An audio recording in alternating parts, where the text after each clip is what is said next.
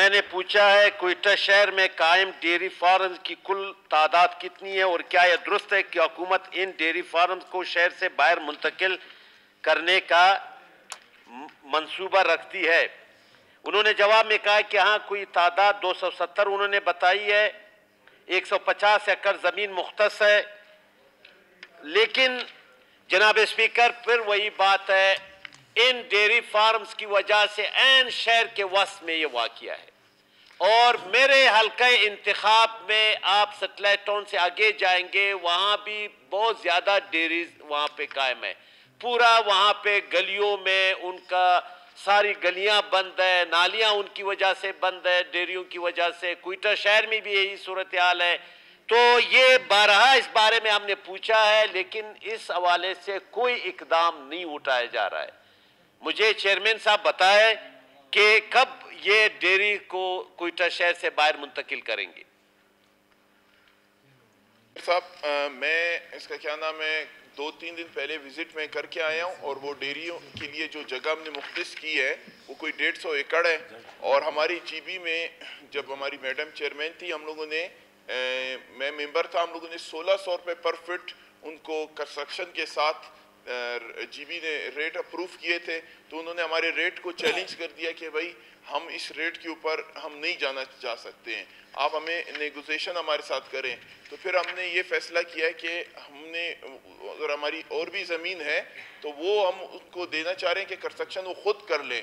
तो वो उसके ऊपर भी राज़ी नहीं हुए तो हमारी, मेरी दो तीन दिन पहले फिर मीटिंग हुई है कि आप क्या चाह रहे हैं? उन्होंने कहा कि आप हमें रेट कम करके दें।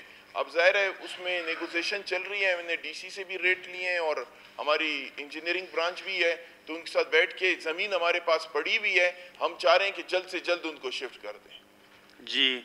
नहीं, शहर के हम बहुत ज़्यादा मुश्किल में है। मुझे बताया जाए कि ज़मीन का मामला है, कम नर्ख में उनको दे दे, कोई मसला नहीं है। कितना का आप दे रहे हैं, आपने क्या रेट बताया? अहमद नवाज़ साहब उसमें जीबी के मेंबर भी हैं। उसने सोलह सौ रुपये रेट रखा गया था जिसमें पूरी तरफ़ से बाउंड्री वाल थी बिजली गैस और उसका क्या नाम है? सोलह सौ रुपए क्या? परफेक्ट परफेक्ट रखा था। वहाँ पर सोलह सौ। हाँ और इसका क्या नाम है? परफेक्ट रखा। एक मिनट मैं दो बात करने दे।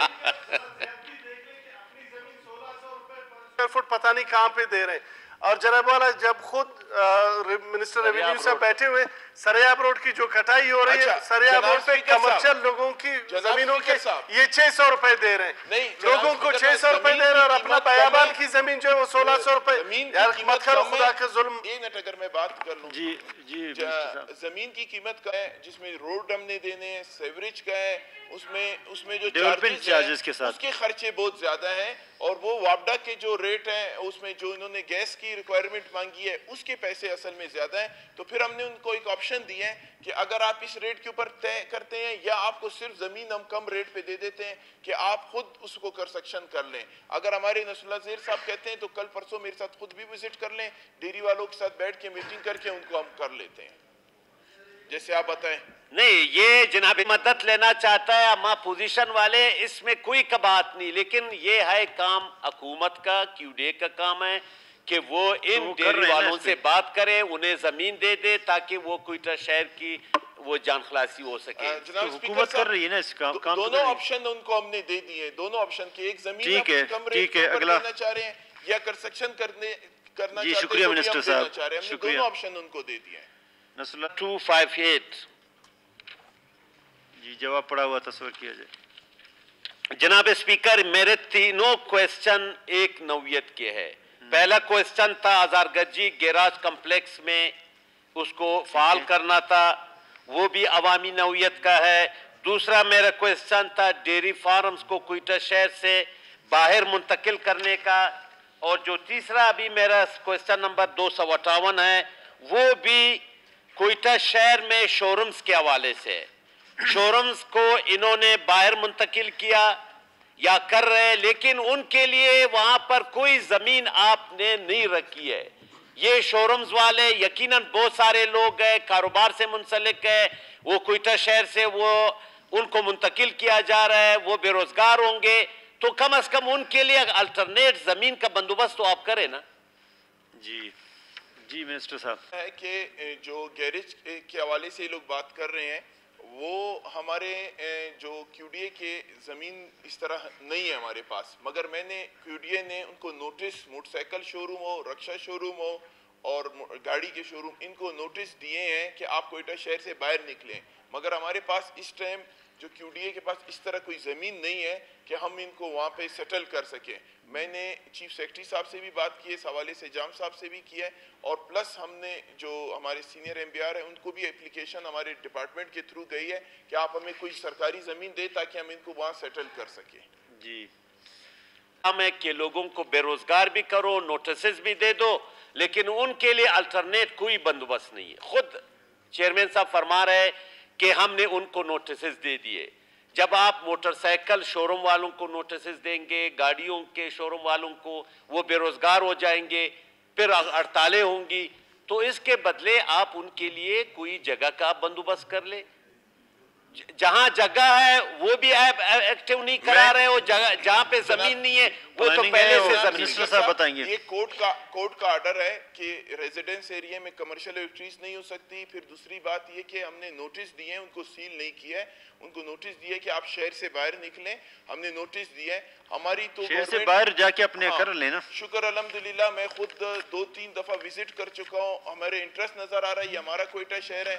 आप अभी इनकी क्या मैं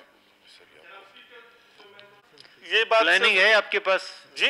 आप क्या कहते हैं क्या करना चाहिए? मैं मैं जनाब वाला यही कह रहा हूँ कि ये सिर्फ़ मोरिक भी ये कह रहे हैं और मिनिस्टर साहब भी ये कह रहे हैं कि हमने उनको नोटिस दिए हैं। मैं सिर्फ़ ऐवान की नोटिस में ये बात लाना चाह रहा हूँ कि ये सिर्फ़ नोटिस नहीं दिए बाकायदा तमाम शोर- शोरूमों को थ्रू डिप्टी कमिश्नर के सील कर दिया गया है। हज़ारों की तादाद में यहाँ पे लोग तो बेरोजगार का डिसीज़न है। बेरो नहीं सर कोर्ट का डिसीज़न मिनिस्टर साहब ने अभी खुद कहा कि कोर्ट का डिसीज़न है कि रेजिडेंशियल एरिया में कमर्शियल एक्टिविटीज़ ना हो। रेजिडेंशियल एरिया आप किसको कहते हैं? जनाब वाला, मैंने उस दिन भी बात किया था, जिना रोड के तमाम शोरूम सील है। जिना रोड रेजिडेंशियल एरिया नहीं है कमर्शियल एरिया है। मस्जिद रोड के तमाम शोरूम सील है। मस्जिद रोड रेजिडेंशियल एरिया नहीं है कमर्शियल एरिया है। जनाब वाला, यट रोड के तमाम शोरूम सील कर दिए गए यट रोड रेजिडेंशियल नहीं कमर्शियल एरिया है। तो जनाब वाला ये तमाम जितने भी शोरूम सील किए गए ये तमाम के तमाम कमर्शियल एरिया में वाक़ शोरूम्स थे जिनको सील किया गया। रेजिडेंशियल एरिया तेलगुदाम वहाँ पे मुझे मुबीन साहब बता दें कोई शोरूम खुला था। Gulistan road Shahbaz town Jinnah town मेरा उद्दा हो गया किली इस्माइल हो गया आपका अ, पश्तूनाबाद हो गया सेटेलाइट टाउन आप मुझे बता दें ये तमाम रेजिडेंशियल एरियाज़ में कहाँ पे कोई शोरूम था जिसको सील किया गया?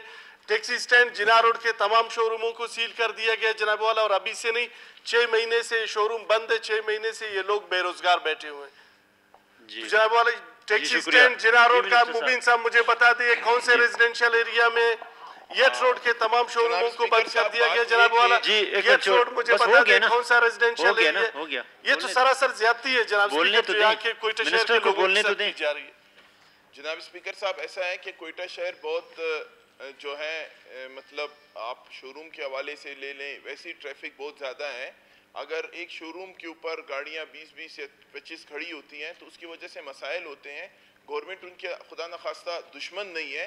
हमने उनको ये कहा है कि आप कोयटा शहर से बाहर निकलें। हमने जो मोटरसाइकिल शोरूम है या रक्षा शोरूम है, उनको सिर्फ़ नोटिस दिए हैं। इन्होंने सिर्फ़ गाड़ी शोरूम का बात किया है नहीं, मोटरसाइकिलों वाकई का किया के क्या अंदर जो रहने वाले लोग हैं उनसे आप पूछ सकते हैं कि काफ़ी तकलीफ़ में है और काफ़ी परेशान है वो इस हवाले से। अब नसरुल्ला जेर साहब भी ये कह रहे हैं कि उनको मुंतकिल किया जाए और वो कह रहे हैं कि नहीं किया आप जाए। कह रहे हैं कि रिहायशी एरिया में दोनों की बातों नहीं नहीं मैं ये कह रहा हूँ कि आपने आप आपने जनाब स्पीकर उनके शोरूम आप सील कर रहे हैं वो बेरोजगार हो जाएँगे। वो कहाँ जाएँगे? एक मिनट मिनिस्टर साहब कोई अल्टरनेट आप लोगों ने कोई बंदोबस्त किया है। बा, बाकी जैसे गैरेज का इन्होंने बताया है, उसके लिए हमारे पास ज़मीन है। नहीं नहीं अब यही जो शोरूम्स हैं। शोरूम्स के लिए ज़मीन नहीं है हमने ज़मीन रिक्वायरमेंट वो चीफ सेक्रेटरी साहब को बता दिया कि हमें ज़मीन दिए जाए। के उस दिन भी हमारा मौकफ यही था आज भी हमारा मौकफ यही है। कि आप पहले उनके लिए अल्टरनेट किसी जगह का बंदोबस्त कर ले? मैंने उस दिन मिसाल भी दिया था। मुबिन साहब- एक मिनट मुबिन साहब एक मिनट। मैंने सर उस दिन भी मिसाल भी दिया था कि जब सब्ज़ी मंडी को यहाँ से शिफ्ट किया गया पहले वहाँ पे हजारगंजी कम्प्लेक्स बनाया गया वहाँ पे आरतियों के लिए जगह बनाई गई तमाम सहूलतें उनको दी गई। उसके बाद इनको कहा कि आप यहाँ से शिफ्ट होके वहाँ चले जाएँ और लोग शिफ्ट हो गए किसी ने एतराज़ भी नहीं किया। ट्रक अड्डे को शिफ्ट किया गया वहाँ पे पहले इनको जगह दिया गया। उनके लिए फैसिलिटीज़ वहाँ पे क्रिएट की गई तमाम चीज़ें सहूलतें तमाम डेवलपमेंट उनका मुकम्मल हुआ। ट्रक अड्डे वालों को कहा शिफ्ट हो जाए किसी ने नहीं आप शोरूम शिफ्ट कर दें बेशक। आप उनको अल्टरनेट आप उनको अल्टरनेट जगह दे दें जनाब स्पीकर आप उनको अल्टरनेट जगह दे दें। उनकी शोरूमों की डिमार्केशन कर ले तमाम चीज़ें उनको करके दे दे। फिर उनको बोल दें कि यहाँ से आपने शिफ्ट होके वहाँ जी, जाना। शुक्रिया। आपने शुक्रिया। आपने मुतबादिल भी नहीं दिए करें जनाब स्पीकर छह महीने से आपने इनके ऊपर जो जनाब स्पीकर जी बस रोजी के दरवाजे ये ये बंद किए। सवाल में सप्लीमेंट्री तो नहीं आप छह तकरीर कर रहे हैं। छह महीने तक जनाब स्पीकर किस बस के करें तहत आपने शोरूम हो गया ना अभी हो गया अभी इतना तकरीर तो नहीं करें सप्लीमेंट्री पे। नहीं तकरीर नहीं चाहिए उसमें मैं इनको फिर गलत बयानी ना करें ना। नहीं, फिर उधर से गलत बयानी ना हो कि जी ये लोग ये भी करते हैं वो भी कहते हैं। जनाब स्पीकर साहब ऐसा- आपके लिए तीन सर्वे एक सौ चवालीस में तीन सौ शोरूम के लिए जगह भी बना ली है ये वहाँ शिफ्ट नहीं हो रहे हैं।